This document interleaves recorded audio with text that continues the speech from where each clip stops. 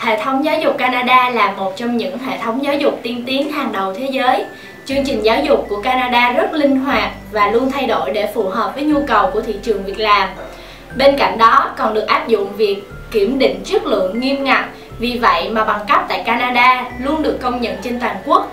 Bên cạnh đó, Canada được coi là quốc gia đáng sống nhất trên thế giới. Canada là một trong những quốc gia giàu có nhất trên thế giới và ngày càng phát triển mạnh hơn với nền kinh tế phát triển mạnh và chất lượng cuộc sống ở mức cao nhất. Chính vì vậy mà Canada thu hút hàng ngàn người đến sinh sống và định cư tại đây.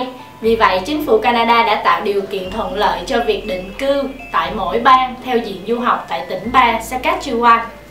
Chính sách được áp dụng cho các sinh viên mới tốt nghiệp bậc cao đẳng, đại học hoặc sinh viên các bậc thạc sĩ và cả tiến sĩ có ý định làm việc và thường trú tại tỉnh bang Saskatchewan này.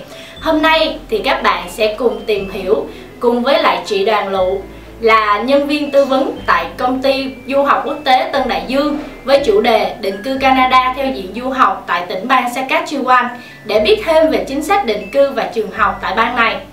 Thì câu hỏi đầu tiên là từ bạn Hà Thêu ở Bình Định. Chào chị, em là người yêu thiên nhiên và môn học yêu thích của em là môn lịch sử. Theo em tìm hiểu được, Saskatchewan là một bang ở Canada có bề dày lịch sử với hơn 250 bảo tàng ở mọi góc đường. Tại Saskatchewan còn có phòng triển lãm nghệ thuật trưng bày các bộ sưu tập mang nhiều nền văn hóa với cuộc sống từ truyền thống đến hiện đại và các cảnh quan thiên nhiên như các hồ nước và đồng cỏ, vườn quốc gia. Do đó, em muốn được học và định cư tại đây. Em cần phải chuẩn bị những gì để có thể xin định cư tại Canada theo diện du học tại tỉnh bang Saskatchewan? Chào bạn Hà Theo, thì à, với những gì em viết trong thư thì chị có thể cảm nhận được là em là một người đã tìm hiểu về bang Saskatchewan này rất là kỹ Tuy nhiên là do chị chưa có biết được là em đang đi học hay là đã đi làm ở Việt Nam Nên chị sẽ đưa ra hai cái hướng cho em có thể lựa chọn ha. Thứ nhất là về điều kiện xin visa định cư dành cho sinh viên tốt nghiệp cao đẳng, đại học khi du học ở Saskatchewan thì em cần phải hoàn tất những cái yếu tố sau. Thứ nhất là hoàn tất các chương trình học toàn thời gian sau trung học tại Canada ít nhất một năm học được nhận văn bằng hoặc chứng chỉ tại một trường được công nhận ở Canada thứ hai là đã từng làm việc cho một công ty thứ hai là đã từng làm việc cho một công ty hoặc doanh nghiệp ở Saskatchewan ít nhất là 6 tháng nghĩa là tối thiểu là em phải có khoảng cỡ 960 giờ làm việc. Theo giấy phép làm việc dành cho sinh viên đã tốt nghiệp, kinh nghiệm bao gồm làm việc trong trường, ngoài trường, vừa học vừa làm, thực tập theo các chương trình của trường. Thứ ba là được cấp phép làm việc sau khi tốt nghiệp của cục chi trú. Thứ tư là phải, hiện tại em phải có một cái thư mời làm việc toàn thời gian chính thức từ một công ty tại Saskatchewan và chị muốn chia sẻ thêm thông tin là về điều kiện để xin visa định cư dành cho sinh viên tốt nghiệp bậc thạc sĩ và tiến sĩ khi du học tại Saskatchewan em cần phải hoàn tất các yếu tố sau. Thứ nhất là hoàn tất các chương trình thạc sĩ hoặc là tiến sĩ tối thiểu một năm học toàn thời gian từ đại học Saskatchewan hay đại học Renia. Thứ hai là nộp đơn trong vòng 2 năm sau khi tốt nghiệp.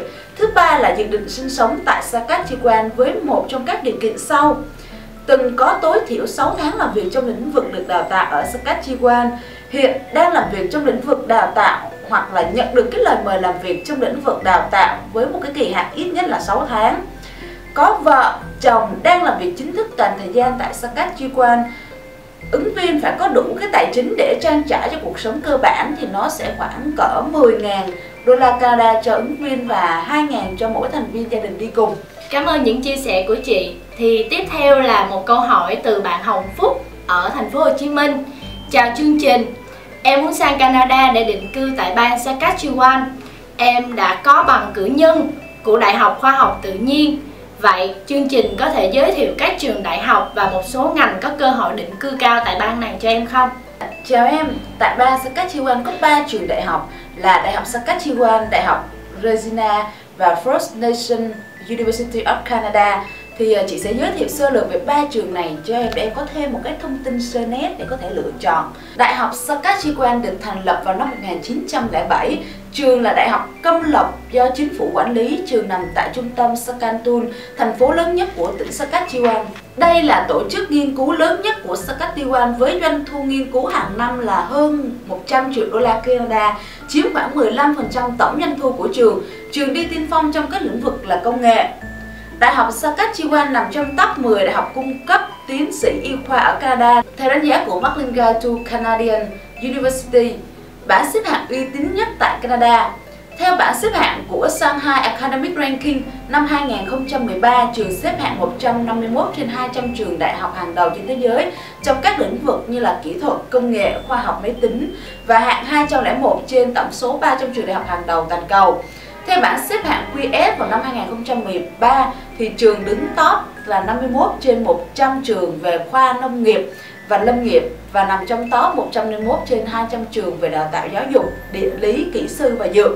Chương trình đào tạo gồm có nông nghiệp và tài nguyên, sinh học, kinh doanh, giáo dục, kỹ thuật, vận động khoa học, khoa học xã hội và nhân văn.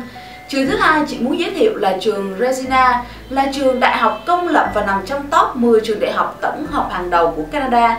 Trường nằm tại thành phố Regina, thủ phủ của tỉnh bang Saskatchewan với tiếng vang lâu đời và tỷ lệ sinh viên giáo sư cao nhất tại Canada cùng với cái môi trường học tập chất lượng quốc tế, học phí thấp, trường đã thu hút rất là nhiều sinh viên đến đây để học tập là trường đã thu hút sinh viên từ 60 quốc gia khác trên thế giới.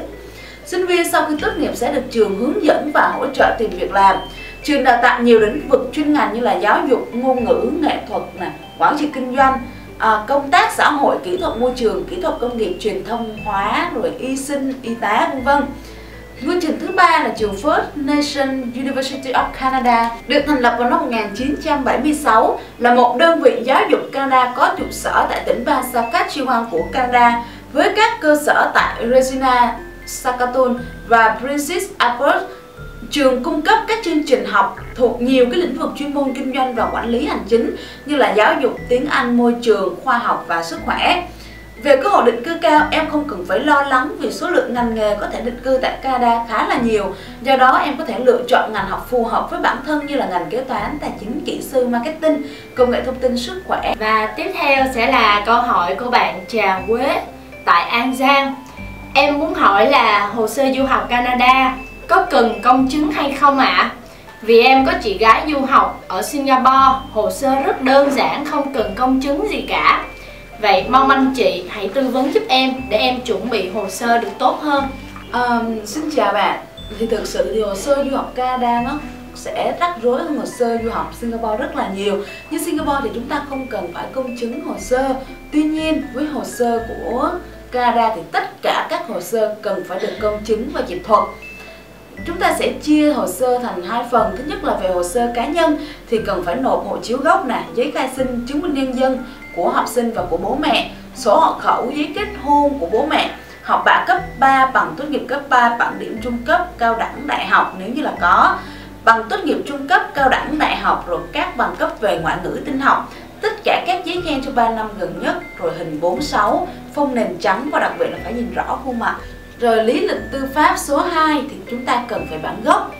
Còn về mặt hồ sơ tài chính thì gồm có như là sổ tiết kiệm, xác nhận số dư ngân hàng, rồi các giấy tờ về tài sản như là nhà đất, sổ hồng, sổ đỏ hoặc là giấy tờ mua bán nhà đất, xe hơi, rồi hợp đồng cho thuê nhà đất, giấy phép kinh doanh, giấy đăng ký, mã số thuế, biên lai đóng thuế, các hóa đơn, hợp đồng kinh doanh nếu như là có rồi hợp đồng lao động, giấy xác nhận việc làm, bản lương, bảo hiểm. Những giấy tờ ở trên chỉ là những giấy tờ chung chung chỉ liệt kê cho tất cả các bạn rõ. Tùy vào một cái trường hợp hồ sơ cụ thể thì nó sẽ có những cái giấy tờ chi tiết hơn nằm ở bên trong. Thì cái điều này thì à, khi liên lạc trực tiếp với Tân Đại Dương thì các chuyên viên tư vấn của Tân Đại Dương sẽ hỗ trợ cho tất cả các bạn rất là tốt thì à, sau những chia sẻ hữu ích của chị Đoàn Lộ thì các bạn muốn giải đáp thêm những thông tin thì có thể liên hệ trực tiếp tại địa chỉ của công ty tại 148 xẹp 1 Trần Quang Khải, phường Tân Định, quận Nhất, Hồ Chí Minh hoặc tại 902 Trần Hưng Đạo, phường 7, quận 5. Xin chào các bạn